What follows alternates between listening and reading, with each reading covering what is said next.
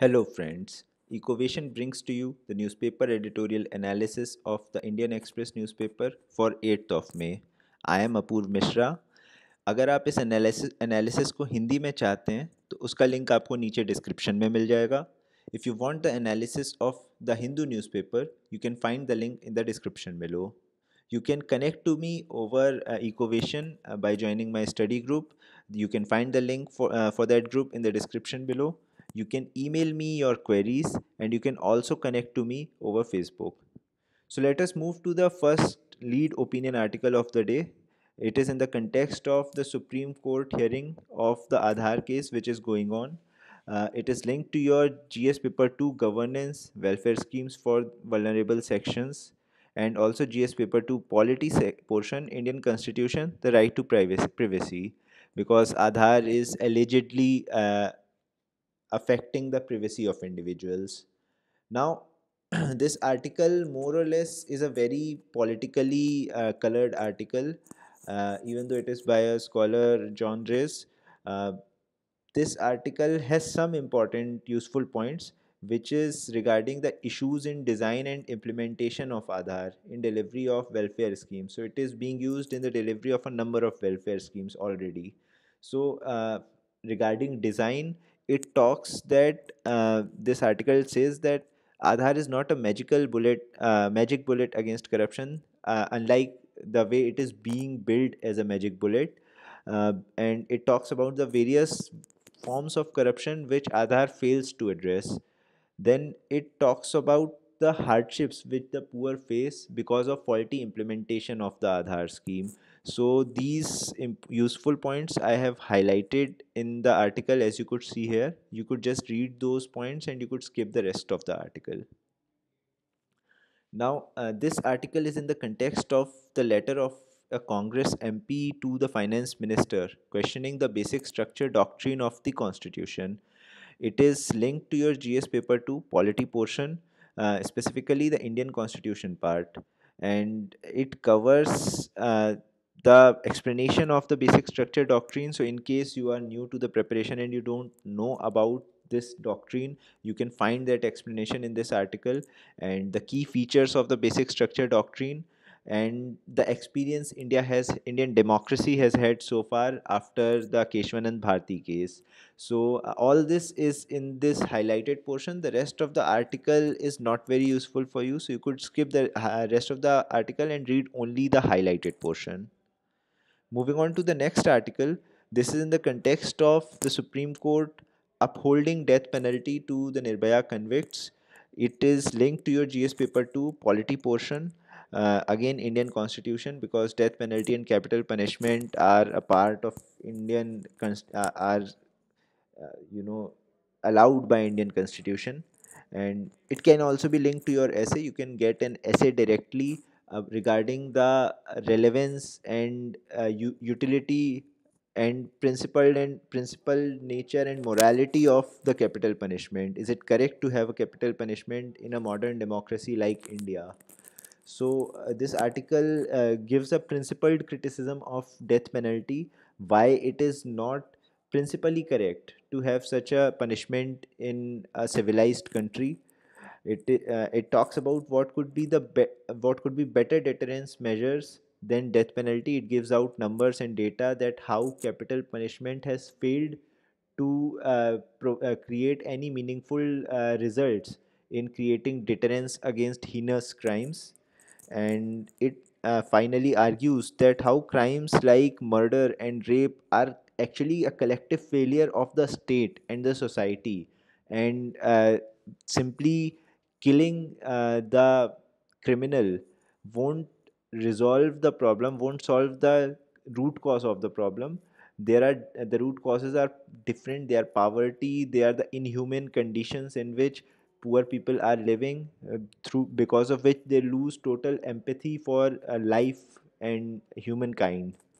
So it uh, it advocates that instead of uh, creating death penalty, creating and avoiding death penalty, such root causes, specifically better administration and better policing, should be done to prevent crimes. This article is in the context of the case of Justice, curious case of Justice Karnan. Uh, he keeps doing uh, funny things. Uh, this article, even though it seems re- relevant, but it is very technical. It it is written in a very heavy legal language. You could avoid that. I don't think you can get a direct question or any question uh, from this uh, related to this particular issue in your mains exam. So you could simply skip it. I don't think it is useful for you. So this was the first editorial page. Let's move to the second editorial page. The first article here is in the context of the new Chief Minister of Uttar Pradesh. Uttar Pradesh being uh, predominantly agricultural state. Uh, this article is written by Ashok Gulati, who is a famous uh, noted agriculturist he is giving his advice to the new UPCM what he could do uh, to revive the agriculture of the state and just like the CM of MP could keep winning multiple times then from his state. Now this is linked to your GS paper 3 Indian economy section. So there are a number of syllabus points which are linked to uh, the agriculture portion uh, like irrigation, marketing and transport of agricultural produce, farm subsidies, MSP, food processing and related industries.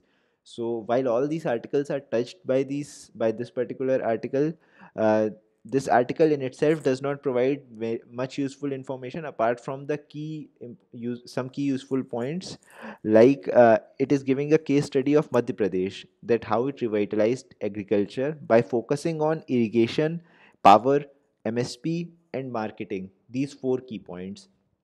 So if you get any question about agricultural reforms and how income of farmers could be improved or agricultural growth in a state or in the country could be improved. So these are the four key points. You could mention these four key points. You can mention the data of Madhya Pradesh case and data of Madhya Pradesh. Uh, in in the points which I have highlighted you can find those numbers and also in the graph as you could see in the picture.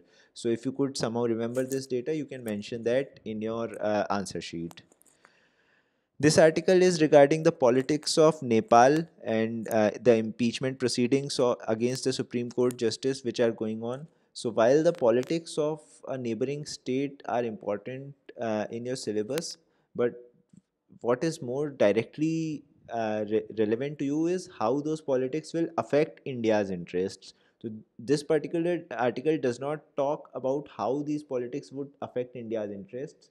So you could just know that uh, there are uh, impeachment proceedings going on against the Supreme Court Chief Justice of Nepal and wait for uh, some other article which actually talks about how it affects India. So this particular article is not useful to you. You could skip this. Fine. This final article, this is uh, in the context of the demonetization policy. Uh, it this article evaluates the demonetization policy in the light of a number of political philosophies like those of John Rawls and Jeremy Bentham. So this article becomes very technical for uh, from a GS perspective from GS perspective. So uh, you could just quickly read through this article, but do not spend too much time scratching your head trying to understand all those tough political uh, philosophies uh, because uh, you are actually not required to be so much technical in your answer in a general studies paper. So uh, this was the newspaper analysis of the day. Uh, if you uh, found the video useful, please like it. If you think your friends could find it useful, please share it.